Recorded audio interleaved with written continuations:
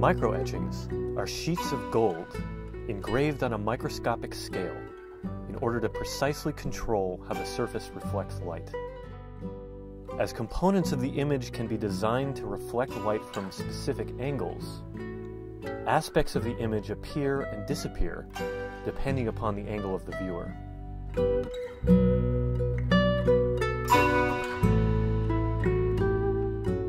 A complicated image such as a neural landscape of the brain, two-dimensional renderings struggle to clearly illustrate the brain's complexity.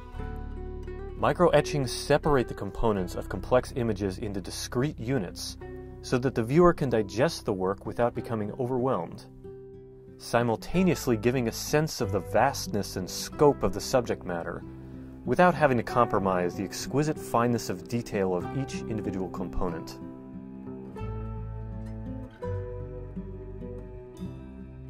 Microetchings are revolutionary because their appearance and color depends on the way they are lit, not on the pigments they are painted with.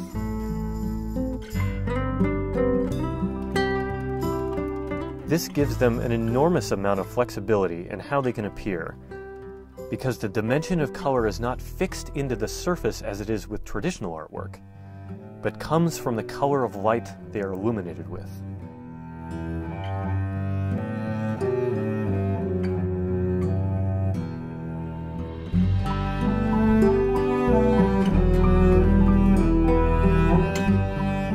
Microetching technique can also produce animations from reflected light.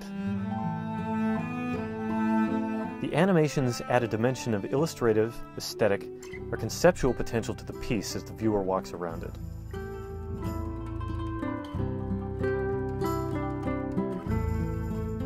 These pieces of art are likely the first of their kind in the world. For additional information about the pieces, please visit the microetching section of the Greg Dunn Design website.